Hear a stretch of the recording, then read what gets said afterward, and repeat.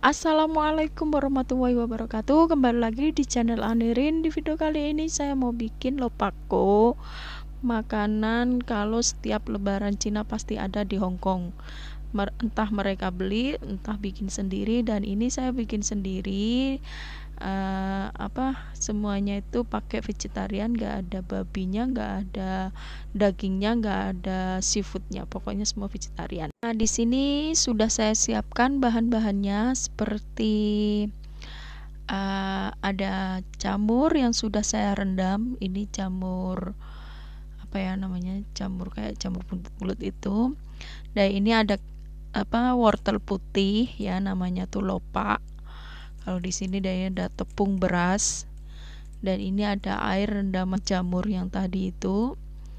Dan ini ada daun seledri dan untuk toppingnya saya pakai betonnya orang Hong Kong. Saya nggak tahu di Indo itu apa ada nggak?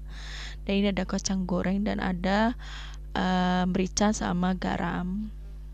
Sekarang saya akan memarut uh, apa wortel putihnya dulu. Seperti ini ya dan ini kita parut semuanya tadi ada dua.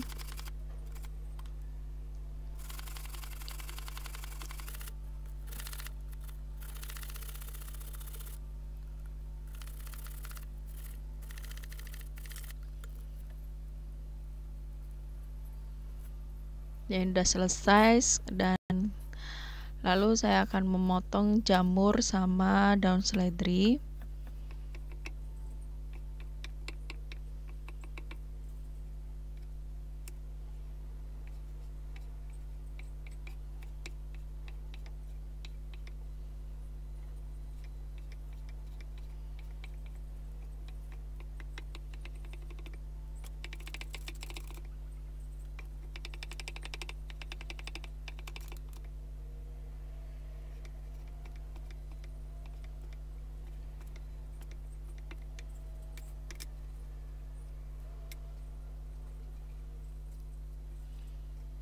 dan daun slidernya juga saya potong-potong kecil-kecil.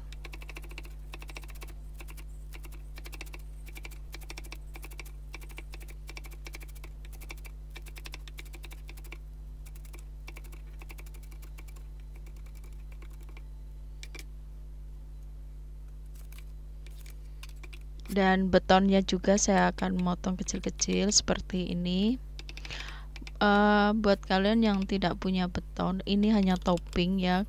Kalau nggak ada beton bisa di skip sama kacangnya ya. Karena ini permintaan Mbah Bos jadi saya turutin aja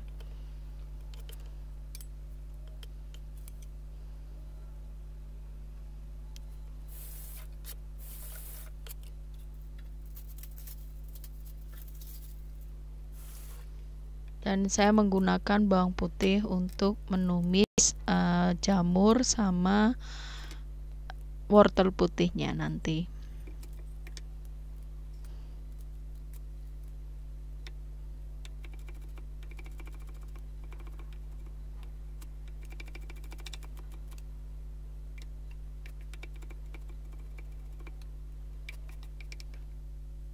Dan sekarang saya akan menumis jamur sama wortel putihnya ya. Kita menggunakan minyak secukupnya saja. Sekitar 2 sendok makan atau 3 sendok makan gitu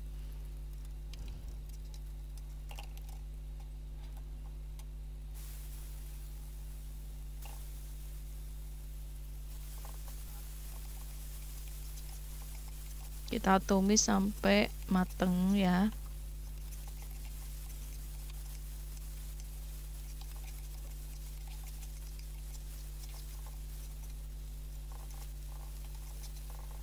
Dan kita masukkan uh, wortel putihnya atau lopak dan biasanya tuh kalau ada orang yang bikin setelah lopaknya mateng itu campuran tepungnya itu dicampur di sini eh, di wajannya ya. Tapi kalau mbah bosku ini enggak dan itu tadi saya taburin garam sama merica dan juga sedikit micin. Untuk micinnya bisa di skip karena ini permintaan bos jadi saya taruh ya. Nah ini mengeluarkan air seperti ini ya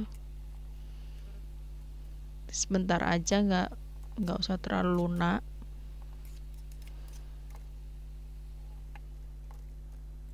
Sekarang saya akan mengadu uh, mengadoni tepungnya. Ini saya pakai 250 gram dan menggunakan uh, air rendaman jamur yang tadi dan air hangat untuk ukuran airnya itu sekitar 300 ml atau lebih ya sekitar segitu. Karena ini benar-benar apa nggak begitu kental nggak kental pokoknya cair itu mencair.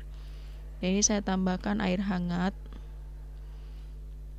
Air hangat ya karena kan udah tercampur dengan air jamur yang dingin tadi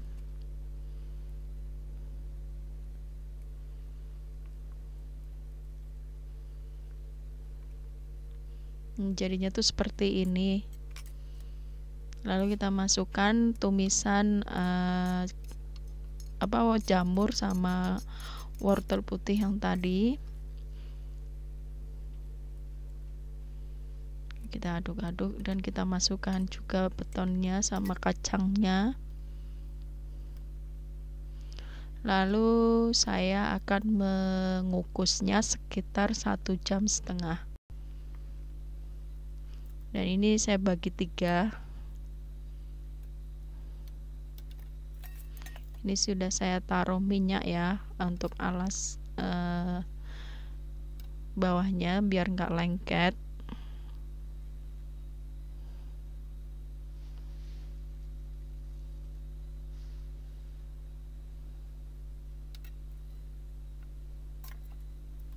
Ini jadi tiga piring seperti ini sebenarnya sih pakai loyang.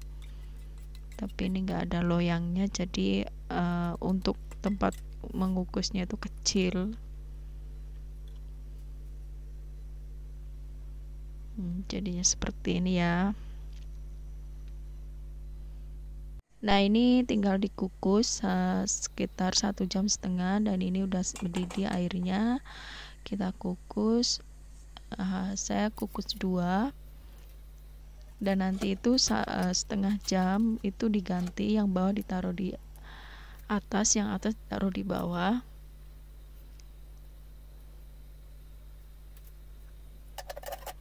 Dan kita tunggu sampai mateng. Dan hasilnya tuh seperti ini setelah dikukus ya sekitar satu jam setengah. Dan ini saya pakai hiasan hongcho namanya itu seperti apa ya kayak kurma itu tapi bukan kurma ini ini namanya hongcho kalau Indonesia nya saya nggak tahu. Jadi yang satu saya steam uh, hampir mateng. Saya kukus maksudnya hampir mateng. Nah ini udah mateng. Tinggal kita dinginkan lalu ditaruh di kulkas. Besoknya tinggal digoreng dan dimakan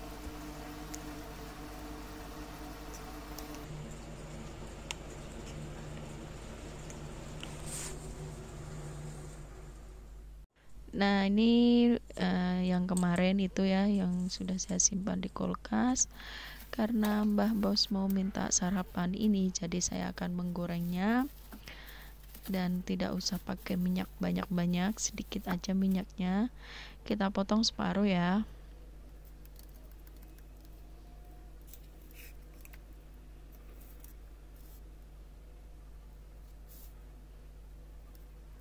Jadinya tuh seperti ini kan gampang dipotong gak terlalu lembek banget. Ini masih keras seperti ini.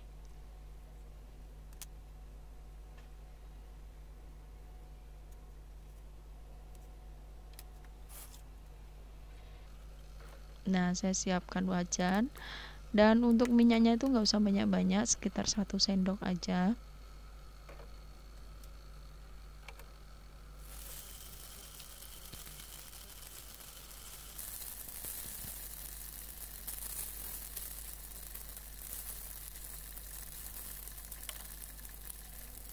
lalu kita bolak-balik sampai benar-benar mateng dan agak kecoklatan dan terima kasih banyak buat teman-teman yang sudah menyaksikan video-video saya dan jangan lupa di subscribe, di komen, di like, dan di share.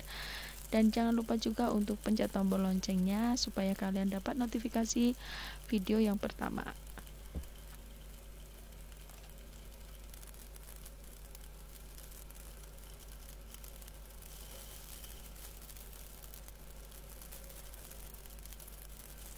Nah ini udah mateng, tinggal kita tiriskan, lalu kita sajikan bersama kopi, minum kopi sambil ngeteh tuh enak aja ya.